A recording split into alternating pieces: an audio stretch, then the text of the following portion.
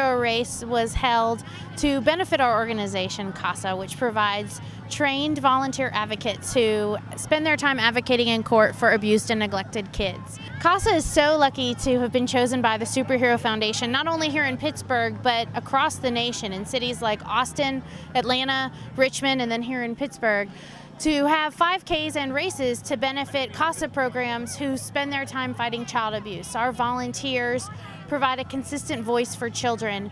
It's their job to know kids who are in the system better than any professional out there to visit with them, talk to professionals, and then to report to the judge as to what's in their best interest, to really advocate in court for what they need. So their journey through the child welfare system, which can sometimes be really trying and, and very lengthy. Our CASA volunteers make sure that the kids aren't forgotten in a really confusing and overwhelmed public system. So we're so thankful to the Superhero Foundation. With the money raised today, we'll be able to provide trained advocates who will follow a child through the system until their case is closed, which unfortunately for kids can be several years. In Pittsburgh, this is our third year, um, but this is the first year benefiting CASA of Allegheny County. Um, nationally, I know it's been going on for a little while longer, and I believe it started in Austin, Texas. And the race in Austin, which will be in the fall, will have well over a thousand people. So we're really proud here in Pittsburgh. I think we've broken 500, which is much larger than years past, and we're, and we're very excited about it. Well, our office is downtown, and, and really it begins by calling our office, which is 412 594 3606, or visiting our website which is www.pgh-casa.org.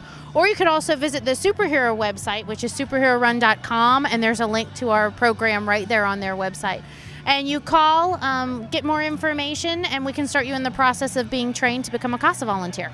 So, just a big thank you to the Superhero Foundation, to Erica Charneyberg and her team for making this event such a huge success. We are very, very grateful. Anthony here with Erica, the chief operating superhero of the Superhero Run 1K and 5K here in North Park.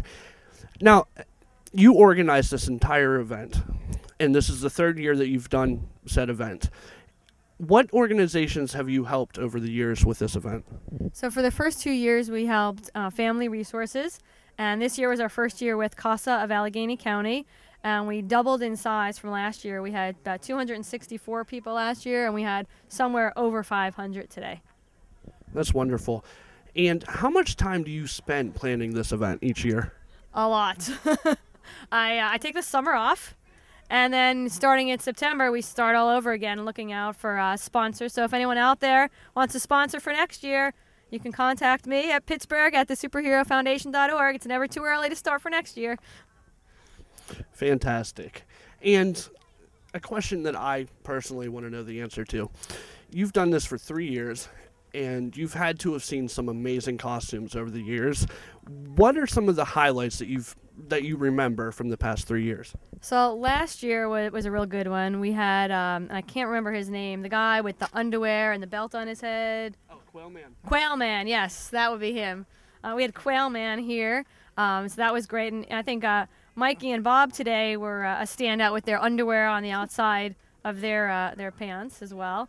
Um, and the run in Richmond we had last year, we had uh, the pilot from uh, the plane of the Hudson. Oh, wonderful. So that was a very original costume. It was one of the best ones I've seen. Fantastic. And how can people get in touch with you if they want to help you with the event? Again, that same email address, pittsburgh at the superherofoundation.org. Uh, they could also call me at 724 466 HERO, which is 4376. Wonderful. Uh, congratulations on such a great event that helps so many people. And we hope to come back next year. Great. Thank you very much.